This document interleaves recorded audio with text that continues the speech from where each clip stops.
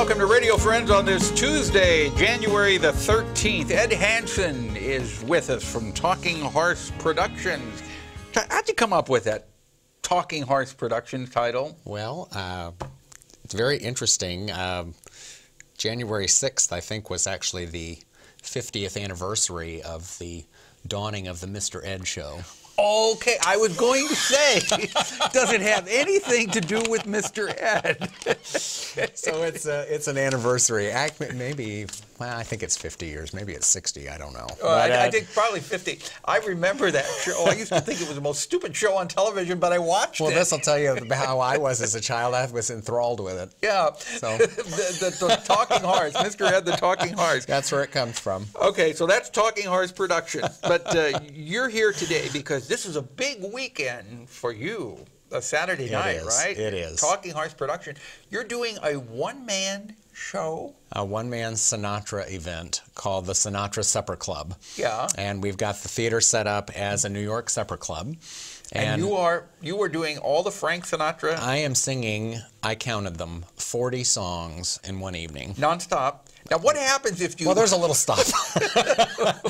I'll occasionally get a drink of water. so you're having a, a, Sinatra supper club. You're right. doing 40 Sinatra songs. Right. And um, people you're walking around from table to table? Well, I stay on the stage, but we've got a supper club in New York. Uh, used to be set up with uh, tables sort of surrounding the stage, uh -huh. and the uh-huh. stage jutted out into the into the audience area. So we're trying to recreate that with our stage, which is portable, mm -hmm. of, of uh, setting it up in such a way so that the tables have a, a, a, front row view no matter which table you're sitting at. Yeah. And how many people could sit at each table? Well, uh, either six or eight, and the, the total capacity is only 48. So it's oh. a, a, very snug evening. Okay. And, and then, what about the music? Well, uh, the music is uh, part of it is tracks mm -hmm. that are actual reproductions of uh, original arrangements uh, done for Frank Sinatra, Nelson Riddle, yeah. some of those other, or Tommy Dorsey, some of those band leaders. Yeah. And there's a company out of England that I found um, that does reproductions of these tracks so that it's the original instrumentation. If you hear, if you're used to hearing a saxophone do a you're little riff in one area, it's a saxophone doing and, that. And a lot of people who are Frank, Frank Sinatra fans know each one of his tunes by heart, right. and they know where that music is supposed right. to be. I want to tell you a little secret. I do um, uh, a little Sinatra every month for an Alzheimer's unit that's here in, in Columbia, the Arbors, mm -hmm. and uh, I do that because my mom died from Alzheimer's, and uh, so I just enjoy going over and singing for them. They lip the words to every song I sing. In the Alzheimer's unit? In the Alzheimer's unit. They know every word to every song. Of Frank Sinatra. Because that's what they were that's what they grew up with. Yeah. And that's where their memory is a lot of times locked into is is uh, uh, things from their, their youth and their young adulthood. So That's got to bring tears to your eyes. It is fascinating. It is fascinating. They get up and dance and it is uh, and they talk about me apparently for days after I'm gone. So which is unusual. That's a beautiful story. Yeah, it's it's just a it's a lovely tribute to my to my mom, and I just uh, really enjoy doing. And you that. do that every, every I do month? it every month. Yeah. That's very nice. Oh, thank you. That is very very nice. that uh, if if you want to see Ed, who's a nice guy.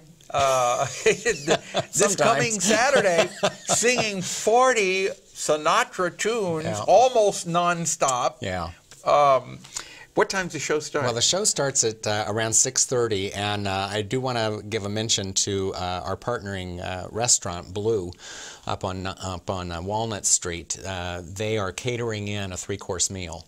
Mm -hmm. So the way this works is I sing a little bit, and then the tables are dismissed to go through the buffet line, and they get their salad. And oh, they're dismissed. And then, they, and then they, they're dismissed. the former teacher and me coming out again.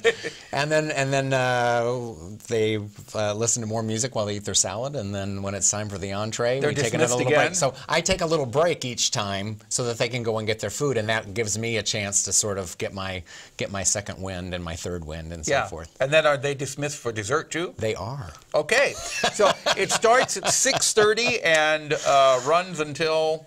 Oh gosh, until I'm done with song number 40, I guess. No, I think I think we'll be running about two hours. Okay, so 6:30 to 8:30.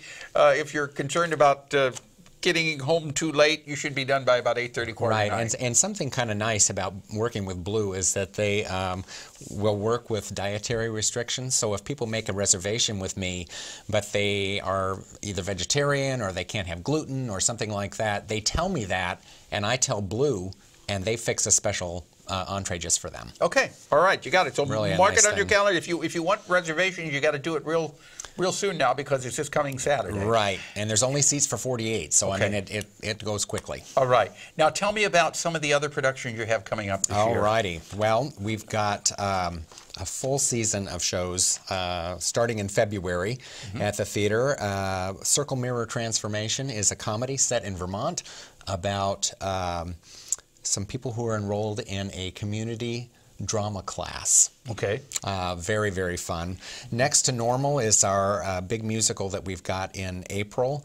Uh, it deals with uh, the main character, the mom, who is uh, suffering from bipolar disorder. Mm-hmm. Uh, it won the Pulitzer Prize for writing in 2010 and swept most of the Tonys And in you're doing it in 2009. April. We're doing that in April. Then you got Mostly Sweet. Mostly Sweet, which is an original comedy by a local playwright, Meg Phillips Crespi.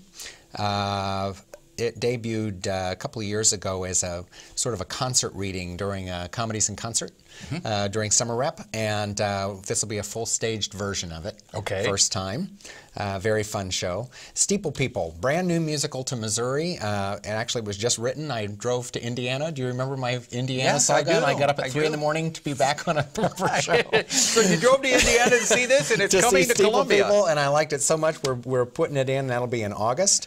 Reasons to be Pretty, a very dark comedy. I would really call it a drama, but people call it a dark comedy. Uh, by Neil LaBute in October, and then a fantastic new comedy by uh, Gina Gionfriddo uh, called Rapture, Blister, Burn. Uh, that'll be a, a Missouri debut also. Okay. And that'll be in December. You got it. So, for more information on Talking Horse Productions, which was named, we found out today, named after the Talking Horse television show. So, Ed, Ed, We are we are nothing but class at Talking. Horse. Let me tell you Wasn't it Ed, the Talking Horse? Mr. Ed. Mr. Ed, that's right. And who? And the his And owner- Alan Young played Wilbur Post. Okay. You got it. Wilbur! Okay, so a little bit of history there. What's the telephone number for more information? 573 268 1381 and find us on the web or on Facebook. Okay, you got it. Our program directed by Travis McMillan, Reynolds Journalism Institute, Audio Pat Akers, KBIA. Our floor director is Lowell Thomas, and our assistant producer and guest coordinator, Uncle James Mauser. Something you'd like to hear or see, drop me an email, pepperp, missouri.edu.